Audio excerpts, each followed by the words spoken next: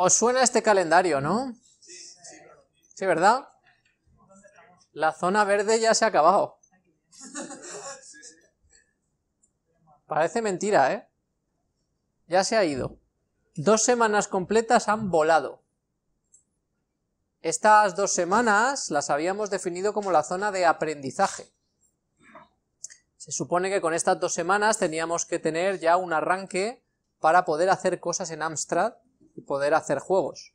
Tenemos un arranque, pero de momento es liviano. Y os vais a dar de lo liviano que es, os vais a dar cuenta esta semana. Si queréis tener vuestro juego aquí, que es donde deberíais tenerlo, dentro de tres semanas, vuestro juego debería estar jugable. El que queréis presentar a concurso, el que queréis que sea vuestra práctica del 20%.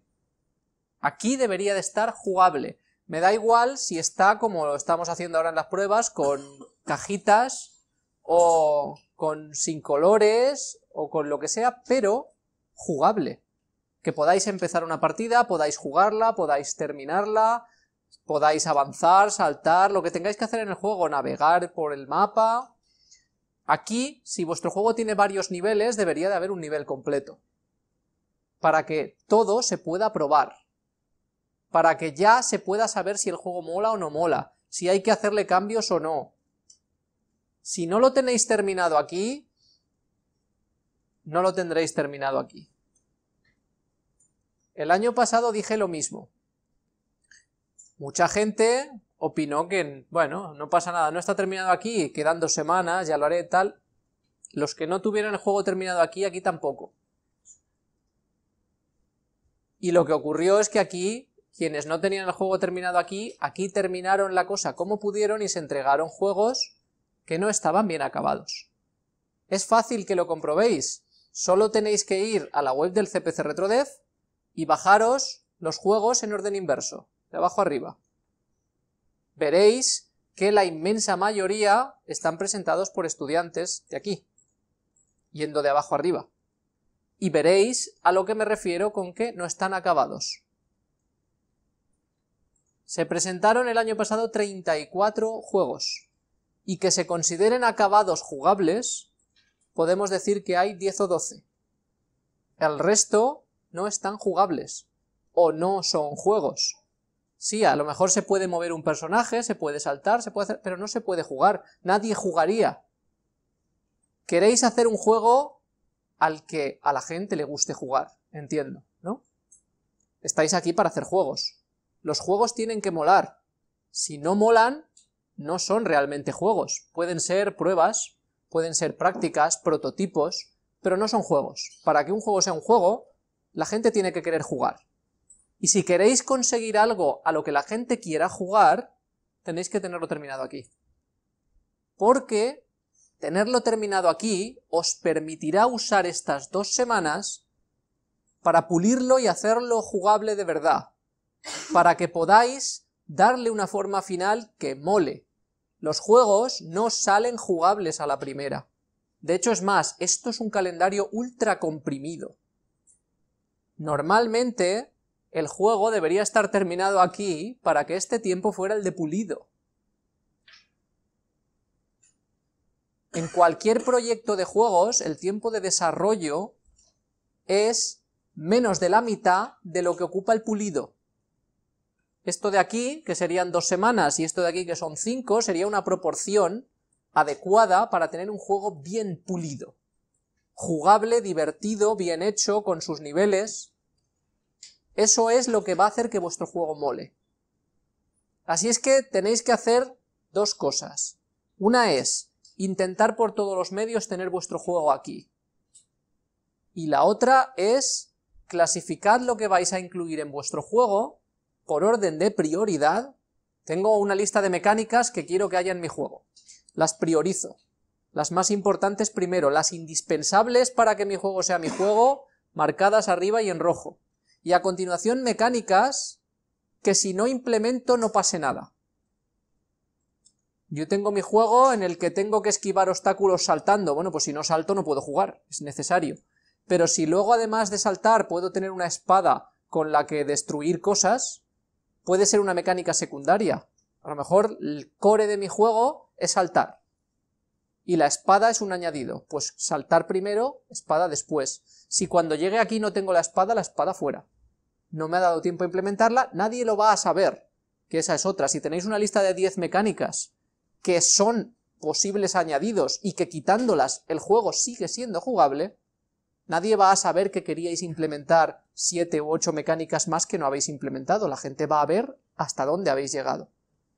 Eso sí, aseguraos que haya un core de 2-3 mecánicas básicas con la que vuestro juego es jugable. Llegados aquí, cerráis las mecánicas. Se implementa hasta aquí y aquí, fin no se hace ninguna mecánica que no esté implementada hasta aquí.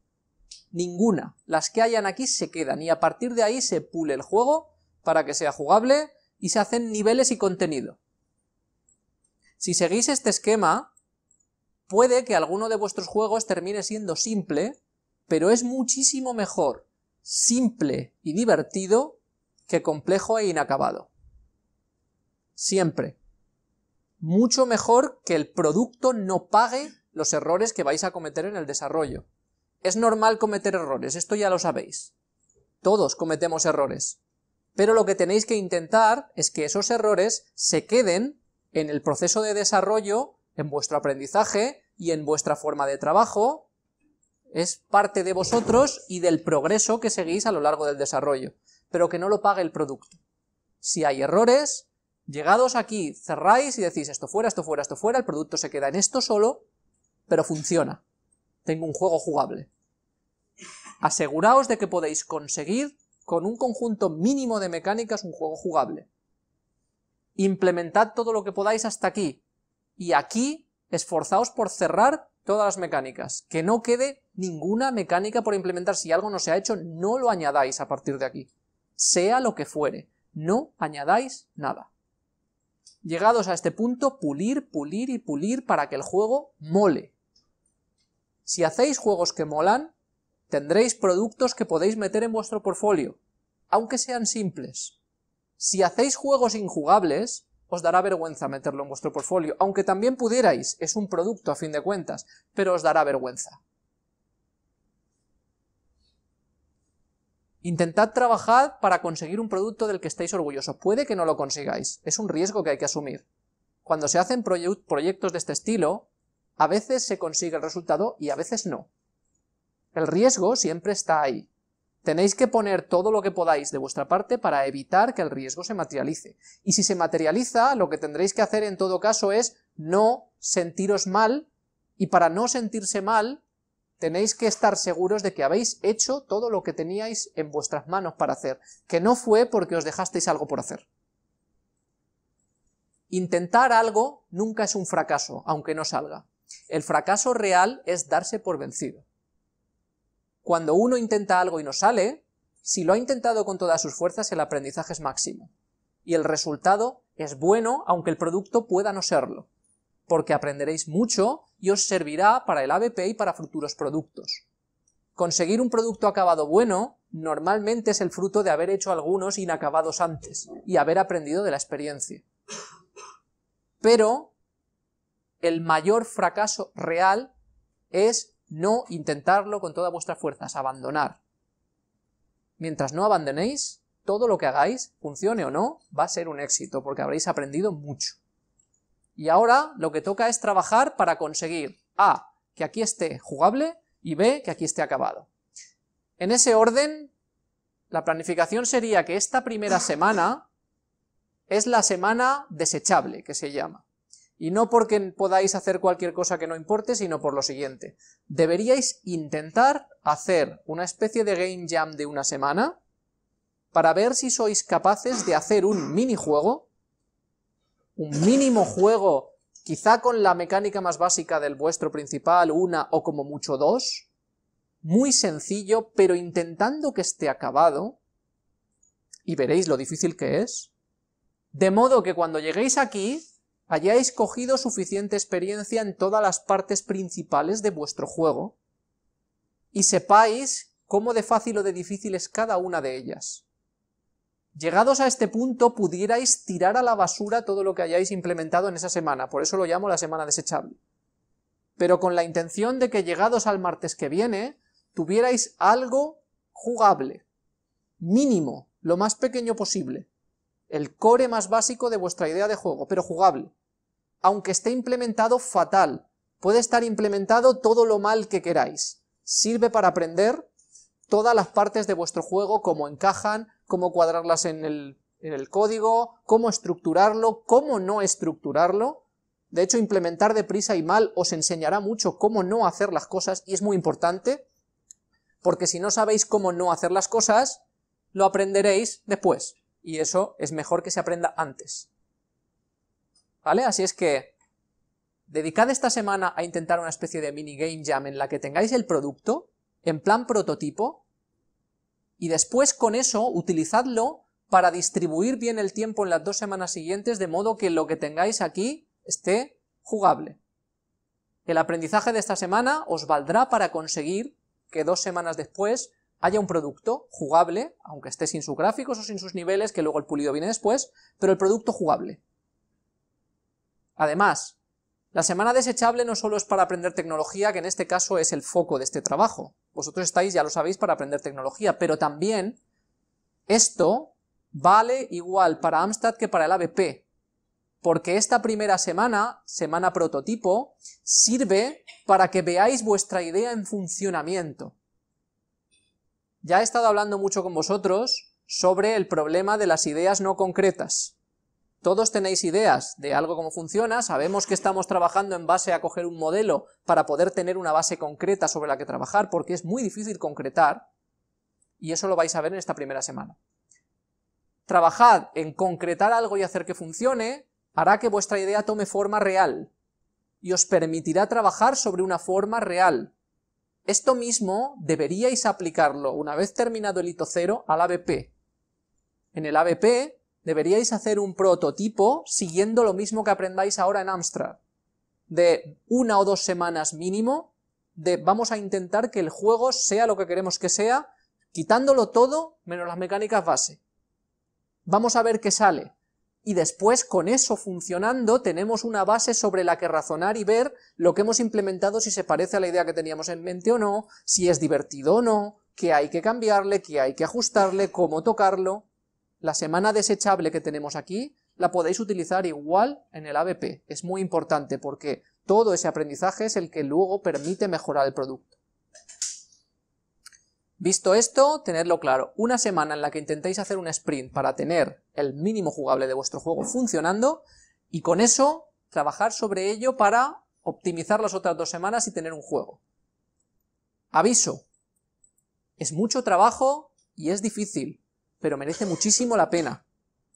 Si hacéis el esfuerzo, todo lo que aprendáis aquí os valdrá tanto a nivel tecnológico, que es lo que persigue esta práctica, como a nivel de ABP, de experiencia, de planificación, de entender los tiempos, de entender cómo concretar las ideas, que es uno de los problemas que tenéis ahora con la IA. Concretar las ideas consiste en ponerlas a funcionar porque hasta que no las veáis funcionando no sabéis cómo son, os imagináis cosas y vuestra imaginación y lo que sale después es totalmente distinto. Así es que cuanto antes se concreten, mejor. Trabajamos ya en concretarlo. ¿Está claro esta planificación? ¿Tenéis alguna duda?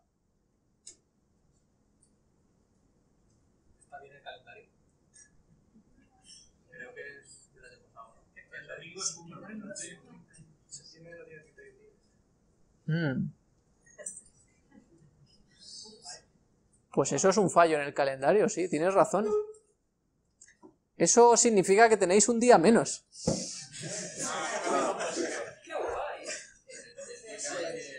Podéis borrar este y, desplazar todos hacia, hacia adelante.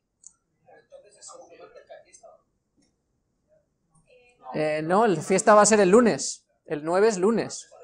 En efecto está mal el calendario.